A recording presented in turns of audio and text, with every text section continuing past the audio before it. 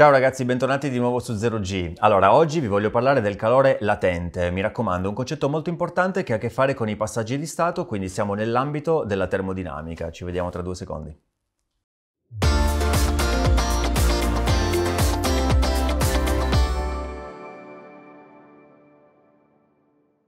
Eccoci di nuovo tornati dopo il volo del nostro astronautino che ci piace sempre un casino. Allora, oggi parliamo quindi del calore latente, quindi argomento grande, termodinamica, stiamo parlando di calore, stiamo parlando di temperatura, e più che di calore stiamo parlando di energia termica perché questo termine di calore fa un po' schifo, poi magari un giorno vi farò magari un bel video per raccontarvi perché la parola calore in fisica fa un po' ribrezzo, ok? È molto più bello parlare di energia termica ma insomma, eh, ci torniamo.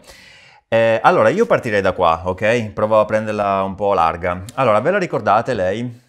Dai, penso di sì, perché se siete alla ricerca di informazioni sul calore latente è perché mi aspetto che questa robina qui, che vi ho scritto adesso, l'abbiate già vista. Allora, brevemente, che cavolo è sta cosa? Allora, questa mh, eh, legge, questa formuletta, vi permette di calcolare la Q, che sarebbe quindi il calore mh, assorbito oppure ceduto da un corpo che ha una certa massa, che ha un certo calore specifico e che quindi per via del fatto che ha eh, ceduto energia oppure assorbito energia da altri corpi ha mh, subito diciamo una variazione di temperatura che nel caso in cui l'energia la assorbi significa aumentare la tua temperatura.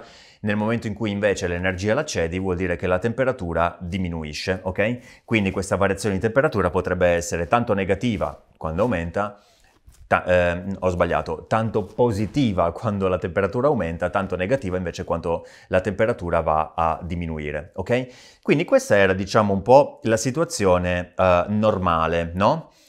Un oggetto assorbe o eh, diciamo cede calore, quindi assorbe energia termica oppure eh, cede energia termica e quindi di conseguenza varia la sua temperatura.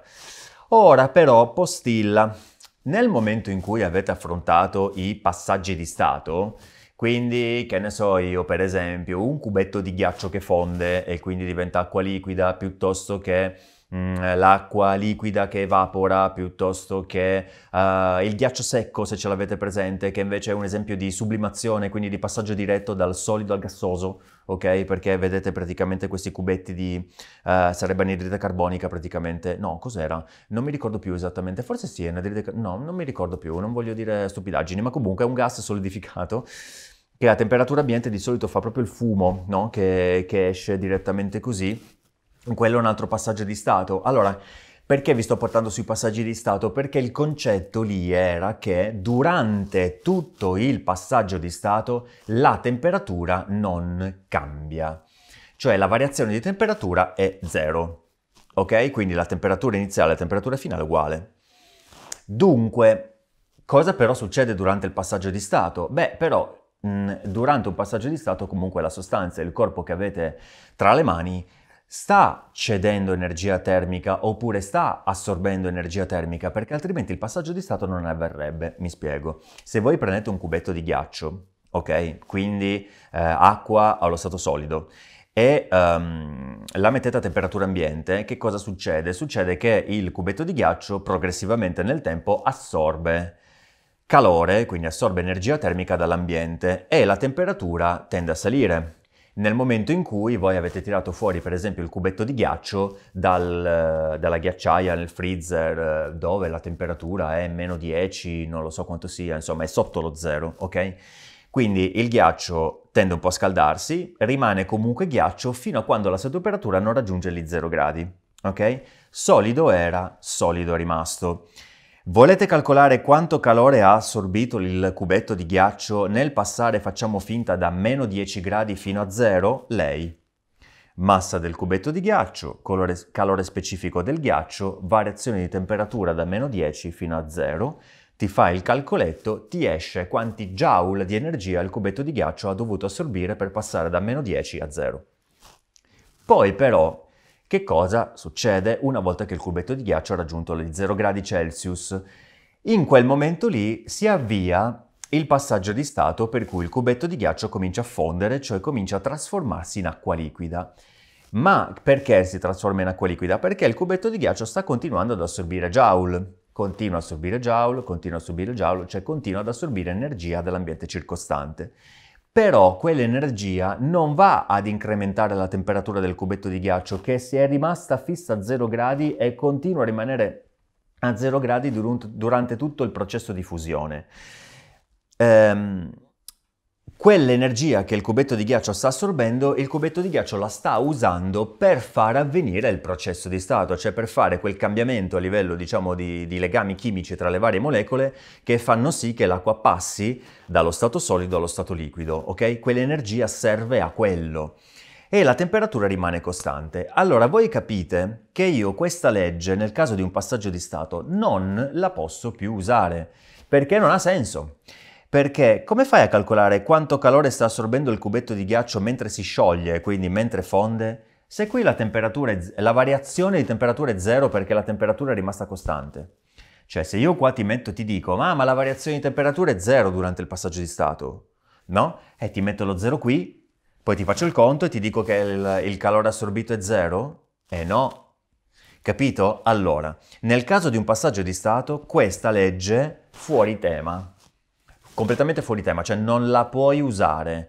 Allora, questa formulina tu la usi solo se hai una sostanza che si scalda o si raffredda, quindi assorbe o mh, mm, cede energia termica, ok? Scambia energia con qualcos'altro, ma eh, mantiene il proprio stato, quindi l'acqua liquida che si scalda e continua a rimanere liquida, um, non so io, uh, un pezzo di metallo che è solido, lo scaldi ma comunque ancora solido, quindi non lo porti fino a fusione, ok?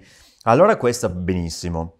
Ma nel momento in cui hai il passaggio di stato, questa legge fallisce, non è più lei che ti permette di calcolare il calore che quella sostanza sta assorbendo o sta cedendo, e allora devi passare a lei.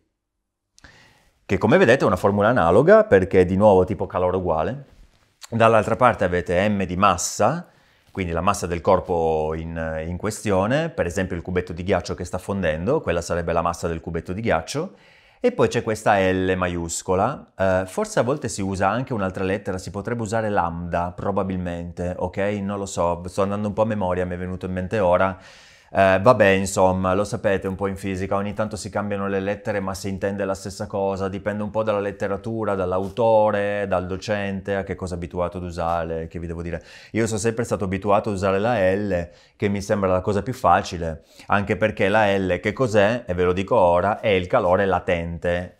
L latente. È vero che se usi lambda, lambda sarebbe la lettera L dell'alfabeto greco, no? Alla fine siamo sempre lì. Però, eh, dai, allora, ok, cioè io userei la L che mi piace. Allora, quindi il, il calore che un oggetto, mh, mm, una sostanza, diciamo, è in grado di assorbire o di cedere durante un passaggio di stato, ripeto, durante un passaggio di stato, è uguale a m per, quindi la massa, per la L che sarebbe il calore latente, ok? Quindi qui, come vedete, abbiamo proprio cambiato formula. Cos'è un po' il calore latente? Ti dice praticamente, eh, cioè diciamo è un coefficiente che va a moltiplicare la massa e che ti permette quindi di calcolare quanto calore hai in relazione anche ehm, alla massa un po' del corpo. Um, il calore latente quindi dipende, un po' come il calore specifico, dipende dal tipo di materiale che hai, quindi se hai il ghiaccio è una roba, se hai l'acqua liquida è un'altra roba, se hai l'olio è una questione diversa, se hai l'acciaio è una questione ancora diversa, quindi non ti puoi imparare un numero fisso per il calore latente, no? Questa è di nuovo la classica cosa che ti ritrovi in fisica che dipende dai materiali e quindi se guardi le, le, i libri di testo troverai sempre le tabelle con un elenco di un certo numero di materiali e a fianco tutti i valori del calore latente corrispondente. No? Eh, col calore specifico, se ci avete presente, però è la stessa cosa, no? Alla fine della fiera, cioè quella C che compariva qua dentro. Eh, siamo lì, come concetto più o meno è proprio un po' la stessa cosa. La cosa aggiuntiva è però, per esempio, che se tu prendi di riferimento l'acqua, eh, c'è un calore latente diverso a seconda del tipo di passaggio di stato che stai considerando. Quindi, per esempio, se tu hai l'acqua solida che si sta trasformando in acqua liquida, quindi il ghiaccio che si sta sciogliendo e sta diventando acqua liquida, ok? In quel passaggio di stato che si chiama fusione hai un calore latente di fusione che vale un certo numero e te lo vai a prendere dalle tabelle varie. Eh, forse ve l'ho scritto qua. No, ve l'ho scritto, vabbè, dopo guardo, ok? Ehm, se però, sempre nell'ambito dell'acqua, tu fai un altro passaggio di stato che è um, l'ebollizione, quindi porti l'acqua a 100 gradi, ok? Quindi stai facendo un passaggio di stato dall'acqua liquida all'acqua allo stato di gas, temperatura costante 100 gradi, allora è, se- è, vero che è sempre acqua, però siccome il passaggio di stato è diverso, allora è cambiato anche il valore del, del, del calore latente. Quindi il calore latente di fusione è un certo numero, il calore latente di evaporazione è un altro numero diverso sebbene stiamo parlando della stessa sostanza. Quindi, per completare un po' il quadro e cercare di riassumere, da che cosa dipende il calore latente? Dalla sostanza, ma anche dal tipo di passaggio di stato che stai considerando. Ok? Quello che invece è interessante è che eh, il passaggio di stato che tu fai all'andata e al ritorno ha il medesimo calore latente. Tipo, se tu prendi il ghiaccio solido e lo fondi, e quindi passi da solido a liquido, ok, quel passaggio di stato si chiama fusione, benissimo, usi il calore latente di fusione, ok? Ghiaccio che fonde a 0 gradi. Ma se tu prendi l'acqua liquida, la metti nella vaschetta, quella del freezer, no? Divisa a cubetti, ok? Per farla diventare ghiaccio, nel momento in cui l'acqua liquida arriva, scende a 0 gradi, quindi si raffredda fino a 0 gradi e comincia a ghiacciare, quindi tu stai facendo il passaggio inverso, ok? Quindi da liquido a solido, che si chiama quindi solidificazione, comunque usi il calore latente di fusione, ok? È lo stesso numero proprio, quindi se tu fai da solido a liquido oppure da liquido a solido con la stessa sostanza, quindi fai l'andata e il ritorno, diciamo, in entrambi i casi per fortuna usi lo stesso calore latente. Ok, quindi non c'è un calore latente ad andare e poi un numero diverso a tornare, per fortuna usi lo stesso. Però se ti sposti proprio da uno stato a un altro, quindi da liquido a gassoso, boh, sei da un'altra parte, un altro valore completamente diverso, cioè lì devi proprio cambiare. Ok? Allora, mi pare di averlo scritto, adesso cito, eccolo qua, vedi che l'ho scritto. Allora, cal- calore latente di fusione del ghiaccio, per esempio, è un numero tipico, io ve l'ho scritto perché di solito è un numero che torna molto spesso, se volete prendere nota, ok? È solo un esempio, eh, però alla fine quando avete, ehm, come si dice, gli esercizi, no? È molto facile lavorare sempre con gli esercizi che girano attorno all'acqua, no? Perché l'acqua, dai, è una delle cose più facili che ti possono capitare tra le mani, no? Cosa ti devi inventare? Eh? Che devi fare la glicerina con, eh, che ne so io, lo zucchero di canna della Thailandia messo dentro, ma ti prego, ma prendi l'acqua, no? La cosa più stupida che ti viene in mente, giusto? La cosa più semplice.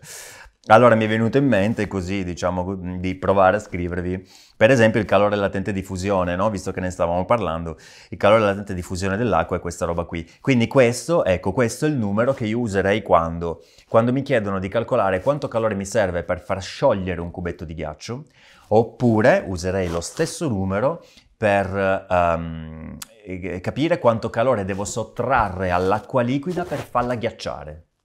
Capito com'è? Cioè io andrei comunque a prendermi questo numero qua, ok? Mi raccomando 10 alla quinta. Ecco, le unità di misura sono queste, come vedete ve l'ho scritto nell'esercizio, cioè scusate, nel, nel, nel, valore pratico, che sono joule fratto chilogrammi, eh, e in effetti è proprio l'unità di misura che vi ho scritto qua in maniera più chiara, quindi questa è l'unità di misura del, del calore latente, joule fratto chilogrammi. Che si vede anche dalla formula, ve lo posso dire, perché alla fine se tu qua metti joule fratto chilogrammi, poi moltiplichi per dei chilogrammi, i chilogrammi van via, ti rimangono joule, che è esattamente l'unità di misura che ti aspetti per il calore, perché il calore lo chiami con questo termine un po' bruttino in fisica, che va bene per l'italiano corrente, ma in fisica, pff, bah, ci piace poco, ok? Pazienza, però se questa invece la chiami in maniera più tecnica energia termica, come si misura l'energia? Joule, eh, ma vedi che torna, ok? Ma vedi che torna. Va bene? Quindi mi raccomando, eh, il calore latente è un po' così, naviga così, però attenzione, quindi quando è che uso il calore latente? Quando si sta parlando di passaggi di stato dove la temperatura rimane costante e dove questa formula non, è, non ha senso non la puoi usare. Che cavolo usi questa roba qua se la temperatura rimane fissa? Non ci stai dentro, ok? Fai lo switch su quest'altra ok?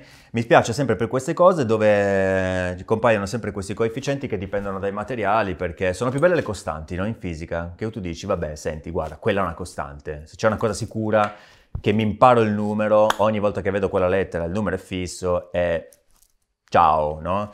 Eh, mi, che vi devo dire? Eh, purtroppo è così. Mi aspetto che negli esercizi però comunque i calori latenti vi vengano dati, cioè che nessuno vi chieda di imparare calori latenti a memoria. Eh, oppure, visto che il calore latente non è una costante, allora ha senso in un esercizio che la domanda sia proprio sul calore latente, cioè calcolamelo tu. Il calore, ti dico io quant'è la Q, ti dico io quant'è la M, trovami tu la L, ok? Visto che tanto da, mm, non la sai eh, perché i valori cambiano sempre, ci sta che allora uno te lo chieda, no? Ok? Nessuno ti chiederà mai di calcolare una costante della fisica, cioè la costante, la so, cosa me la chiedi a fare te? Bello, eh, ti scrivo il numero, la so a memoria, cioè che domanda è? Quando invece ci sono queste grandezze variabili sì che mm, ha senso la domanda. Va bene? Bom, dai, mi sembra di avervi detto mm, veramente tutto a proposito del calore latente. Grazie per avermi seguito e l'appuntamento è sempre qui su 0G per i prossimi video di fisica Mm, da qui a quando avremo voglia ancora di parlarne, chissà se magari un giorno mm, cercherò di farvi un video su questa questione della parola calore che un po' mi sta qua, ma mica solo a me, è un po' ai fisici in, generale. Dai va bene, vi lascio andare e ci vediamo a un prossimo video sempre qua su 0G, vi aspetto.